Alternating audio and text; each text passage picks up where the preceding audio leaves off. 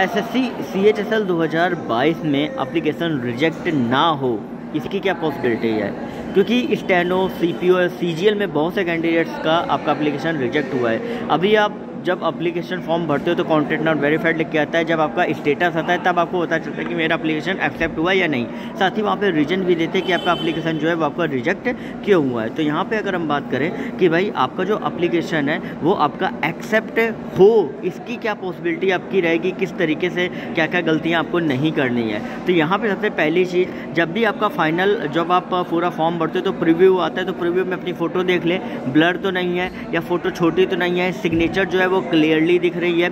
साथ ही age relaxation वाले कॉलम में जो भी कैंडिडेट्स हैं, जो अटक कैटेगरीज बिलोंग करते हैं, उन्होंने अगर वो चाहते हैं तभी यस करें अदरवाइज़ यस मत करें, ये चीज़ें ध्यान रखें। साथ ही कोई भी स्टूडेंट स्पेक्ट के साथ फ़ोटो अपलोड नहीं करेगा, ये चीज़ ध्यान रखें। बार बार मैं आपको बता रहा हूँ स्पेक्ट के साथ कोई भी फ़ोटो मत अपलोड करना, क्योंकि अपलोड करोगे आपका अप्लीकेशन फॉर्म रिजेक्ट होगा, क्योंकि स्टैनो सी पी में ये सारी चीज़ें आपकी मैंने देखी हुई हैं, तभी मैं आपको बता